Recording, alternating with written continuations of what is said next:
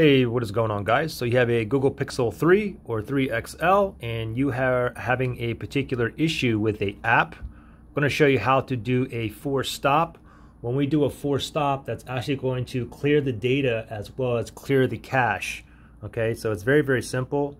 Let me show you how to navigate here, okay?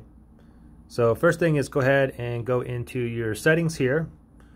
Go into settings, and then from here you want to go down to where it says app notifications tap on apps and notifications, and then from here it says see all 47 apps minus 47 apps. Let me tap on that, and these are all the apps that I have installed. Now what you want to do is go ahead and go to the app that you're having issues with. For instance, I'm going to go to my YouTube app down here. Maybe it keeps freezing or whatnot. So I'll tap the uh, YouTube app here, and now it says right here, force stop. Okay, so remember, I'm going to go and click on force stop here, and it says uh, if you force stop an app, it may misbehave. Okay, that's fine. We're going to force stop it and then we can go ahead and reopen it later.